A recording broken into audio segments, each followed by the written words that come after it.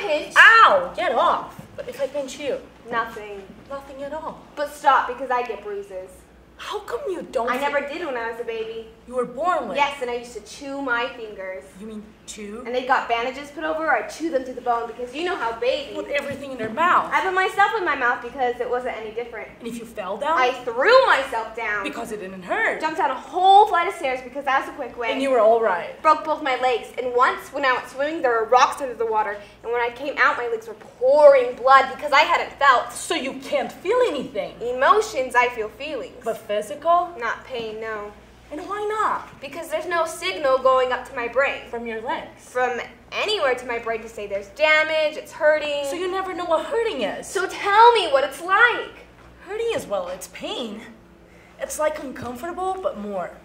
It's something you don't want to move away from, but you can't. It's an intense sensation. It's hard to ignore it. It's very But why would you mind that? because it hurts.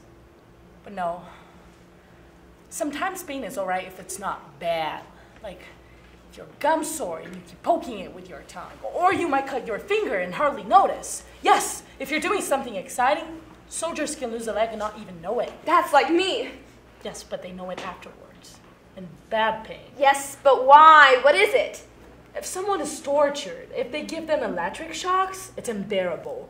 Or if they've got cancer, sometimes they want to die because my uncle. Yes, but I still don't know what it is about pain. It's just pain! But what is it? You've been unhappy. Yes. If someone you love doesn't love you, you thought they loved you and they don't. Yes. Or you've done something you wish you hadn't done. It's too late now and you've hurt someone and there's nothing you can do to put it right. Yes. Does that help? So it's like being unhappy but in your leg.